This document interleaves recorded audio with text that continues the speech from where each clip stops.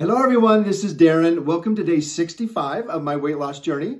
As always, I am so excited you're here watching these videos. Okay, so this is a very familiar setting. You guys were having a surprise Sunday weigh-in. I actually leave for another trip in about five hours. And so we're actually weighing in early because I'm not gonna have a chance to weigh in tomorrow. So let me give you a recap of this last week. I averaged 1,799 calories per day. So it wasn't a bad week. I did have the single largest calorie day. On Wednesday of this week, I consumed 3,334 calories. It was the most I'd ever eaten since this journey began. But it was also the day where I went on two hikes, hiked about five or six hours, had over 31,000 steps. I burned 4,781 calories, and I thought I deserved a little bit of a reward. So that night for dinner, I had a New York strip steak, baked potato with butter and sour cream, some sauteed vegetables, and three-fifths of a raspberry cheesecake. So I do feel good this week.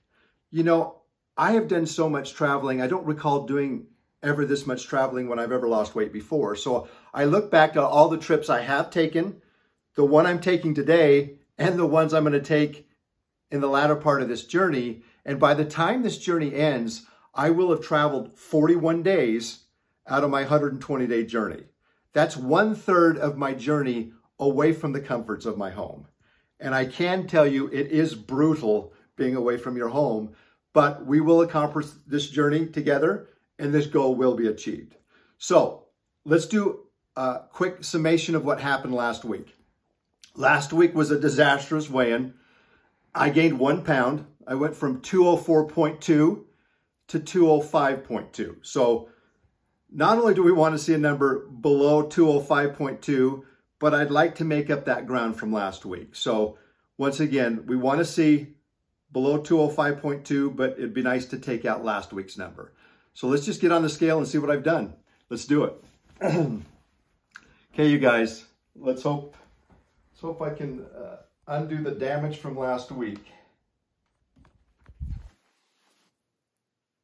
Yahoo!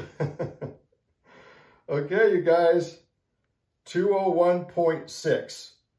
Okay, I'll take it. You guys, that is so exciting. so, um, down, let's see, down 3.6 from last week's weigh-in. And counting the pound that I needed to make up, we're actually down 2.6. if you look at my journey, we're, you know, a little over halfway on my journey. And now I think I've lost a little over 26 pounds. So I'm right on track, you guys, for the 120 day journey. Thank you so much for watching. Um, once again, be sure to like and subscribe. And uh, I will continue this journey going strong, and I appreciate all your support. Thanks, everybody. Bye-bye.